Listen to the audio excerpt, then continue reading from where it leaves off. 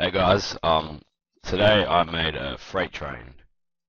Um, it kind of works using frames and these as the track. These are the frame motors.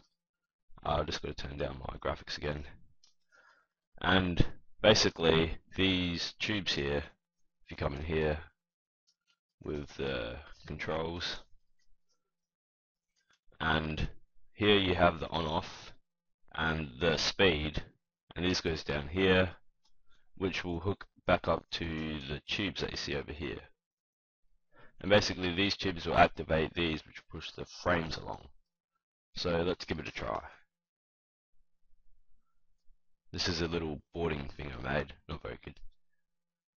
Okay so basically we set the speed so we'll change it to one block a second.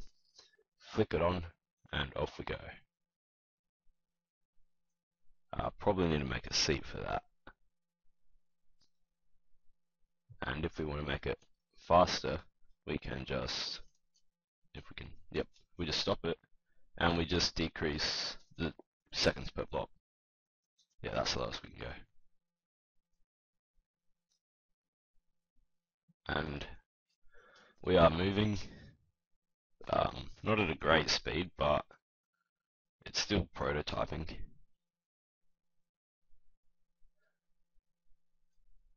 So basically we have these solars that run along the bottom of the track which power the um, motors and push the train along.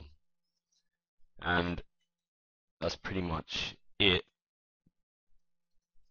Hey guys, um, right here I have a mini display which I made with a red bus and gate I think it is and basically it flips through all these animations set up at the back so it's a lot simpler than a computer to get set up if you don't know Forth or anything.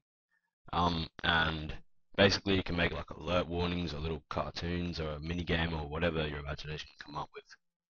Um, over here I have a grid which displays the colors and how they would display on the screen. So Magenta is the top left corner and dark green is the bottom right.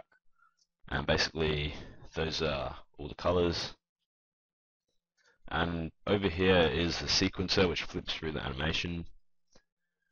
And so basically you have a smiley face and a checkered board which I made.